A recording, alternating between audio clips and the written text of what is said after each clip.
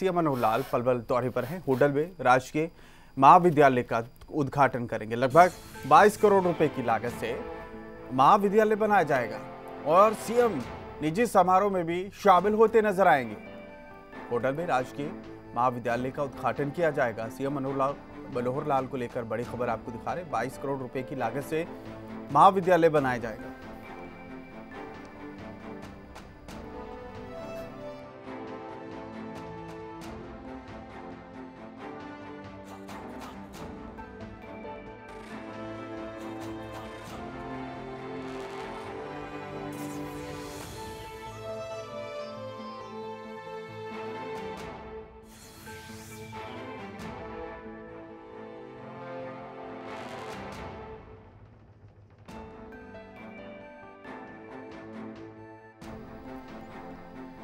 बाईस करोड़ रुपए की लागत से तैयार परियोजनाएँ आज देखने को मिलेगी, जिनका उद्घाटन करते नज़र आएँगे। सीएम मनोहर लाल का दौरा है और सीएम निजी समारोह में भी शामिल होते नज़र आएँगे। सीएम मनोहर लाल का पलवल का दौरा है। पलवल में आज सीएम नज़र आएँगे। होडल में राजकीय महाविद्यालय का उद्घाटन करना है इन्होंने। 22 करोड़ की लागत से महाविद्यालय बनकर तैयार हो चुका है।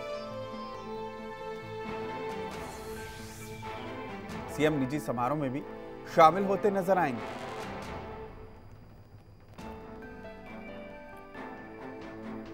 बाईस करोड़ की लागत से तैयार ये बिल्डिंग। महाविद्यालय है ये, जो तैयार किया गया है, राजकीय महाविद्यालय का उद्घाटन करना है। सीएम मनोहर लाल ने, होटल में ये बनेगा।